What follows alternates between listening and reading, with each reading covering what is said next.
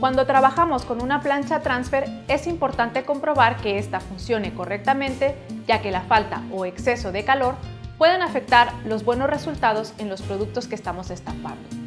Si sospechas que tu plancha no está calentando bien, te recomendamos que utilices un termómetro o sensor para verificar que la temperatura que marca el contador de la plancha sea la correcta. Si notas que hay una discrepancia entre la temperatura que marca la plancha y la real, en este vídeo te vamos a mostrar cómo calibrar la temperatura de tu plancha.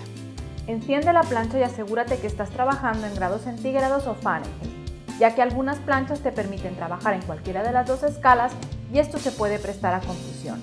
Dale al botón OK hasta que ya no tengas las opciones para configurar tiempo y temperatura. Deja el botón pulsado por 5 segundos y te aparecerá un número que es el que tenemos que cambiar para la diferencia de grados en el contador. Por ejemplo, si el contador marca 104 grados cuando la temperatura real es de 92, tienes una diferencia de menos 12 grados, así que hay que restarle 12 al número que aparece en pantalla. Volvemos a dejar pulsado el botón y comprobamos que la temperatura que marca el contador es la misma que marca el indicador.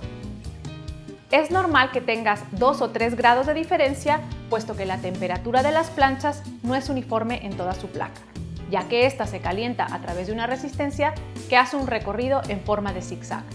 Por eso recomendamos que siempre que se pueda se coloque el producto a personalizar en medio del plato, que es donde la temperatura se mantiene regular. Para más consejos sobre el cuidado y mantenimiento de tu plancha transfer, visita nuestro blog. Encuentra los termómetros que ofrecemos en Brindor en los enlaces que aparecen en pantalla. Danos un me gusta y suscríbete a nuestro canal.